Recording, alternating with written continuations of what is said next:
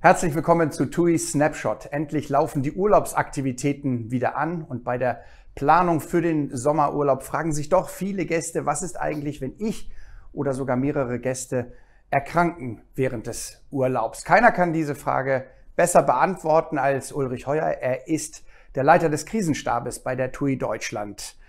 Uli, herzlich willkommen. Herzlichen Dank. Wie stark können wir es ausschließen oder nicht ausschließen, dass ich tatsächlich erkranke im Urlaub? Das Beste, um äh, irgendetwas auszuschließen, was man nicht kann am Ende des Tages, ist eine akkurate Vorbereitung.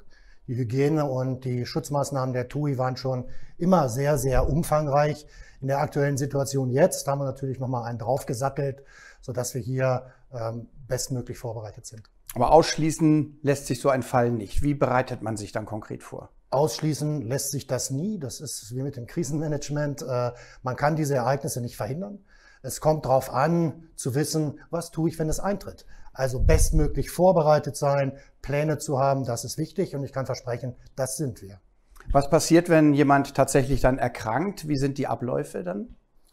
Zunächst mal muss man sagen, das ist für uns leider aus Sicht des Gastes nicht neu, dass jemand im Zielgebiet erkrankt. Das kann durch einen Unfall passieren, das kann natürlich auch durch Infektionskrankheiten passieren. Äh, dann gibt es Abläufe, Checklisten. Wir haben Kontakte zu Ärzten, zu, wenn es denn leider im Einzelfall mal nötig ist, auch Rettungsdiensten. Unsere Reiseleiter sind bestens geschult.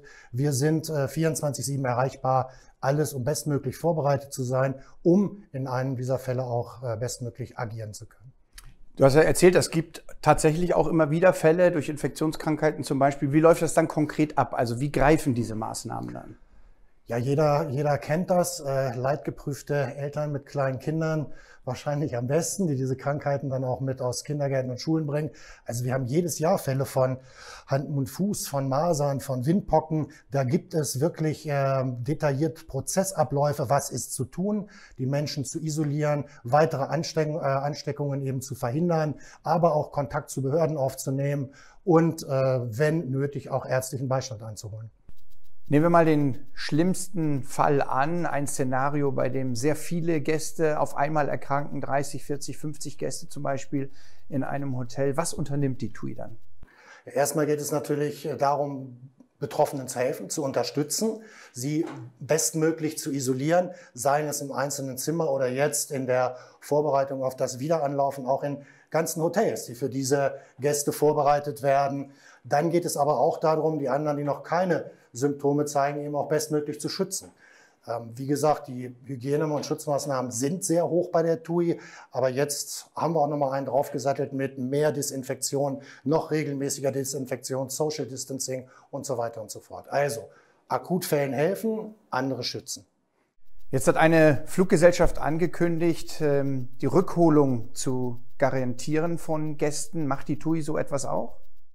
Erstmal ist es unser Selbstverständnis, das zu tun. Und zweitens sind wir auch durch die Pauschalreiserichtlinie dazu verpflichtet, das zu tun. Also jeder, der bei uns eine Pauschalreise bucht, kann sich darauf verlassen, dass wir uns im Bedarfsfall um ihn kümmern und ihn auch zurückholen.